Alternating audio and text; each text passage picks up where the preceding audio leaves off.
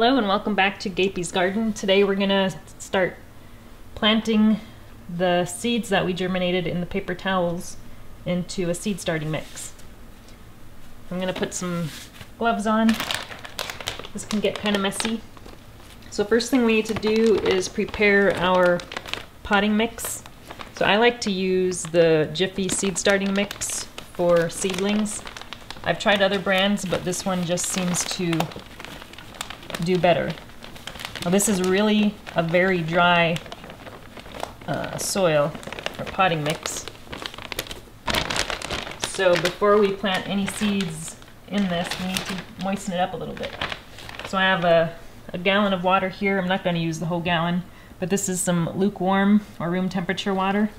We just want to put it in and then mix it up can use your hand or a shovel or a little rake.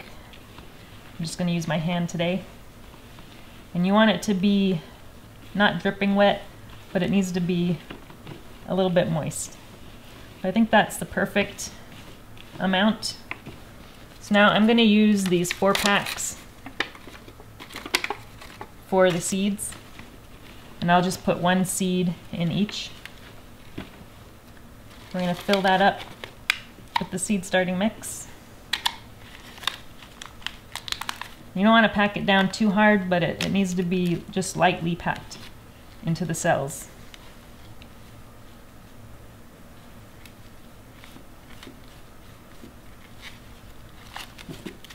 Okay.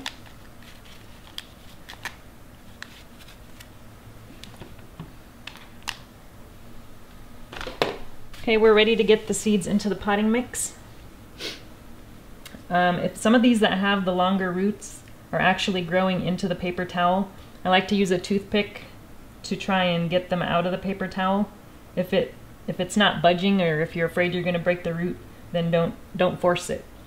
What you can do is just cut around the paper towel and you can plant the paper towel in with the seed and there's no problem with that. But first we're going to make some small holes about a half an inch deep in the middle of each cell.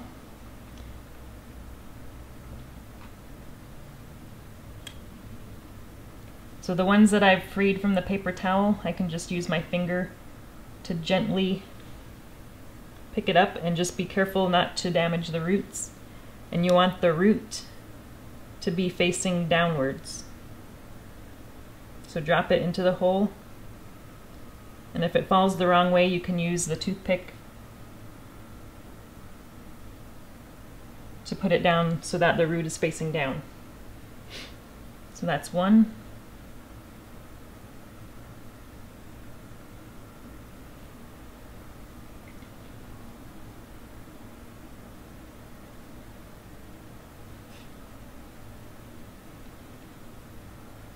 Right, and then you could just use your fingers to close up the hole.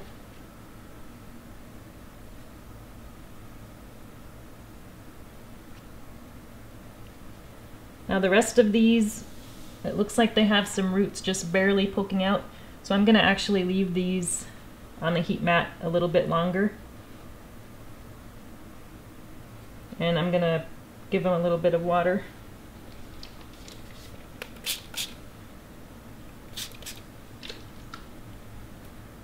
Okay.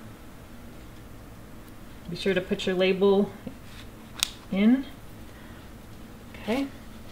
So now that those are in the potting mix or in the seed starting mix, what you can do, or what I'm going to do, is leave them here on this heat mat, but I'm going to cover it with this. Actually, first I'm going to give it a little bit more water. Because they need a lot of humidity and water to finish germinating and come out of the soil. And once they poke out of the soil, then I'll move these over to my, my light setup. So I'm just going to put this over the top so that it holds the humidity. And I'll be sure to check on it every day, make sure it doesn't get dried out.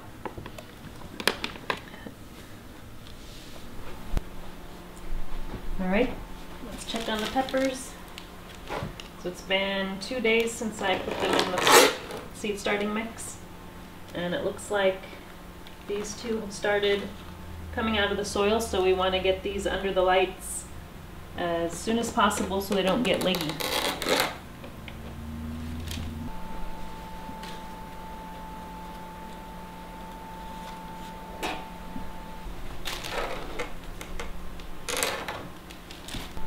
This is the Brazilian starfish, and this is the Carolina Reaper.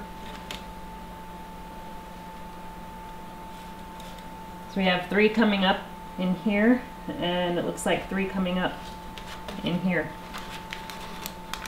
I do have a heat mat under this too because it's kind of cool in this room. So the more heat, the better.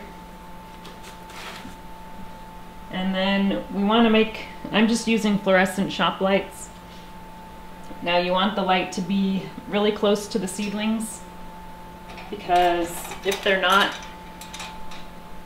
then they'll get very leggy and you don't want that. So I'm going to lower the light just so it's about an inch or two above the seedling.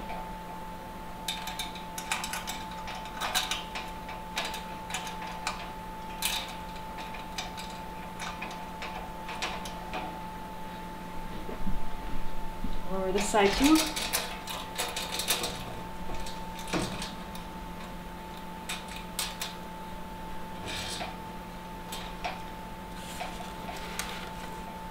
You'll need to check it and raise the lights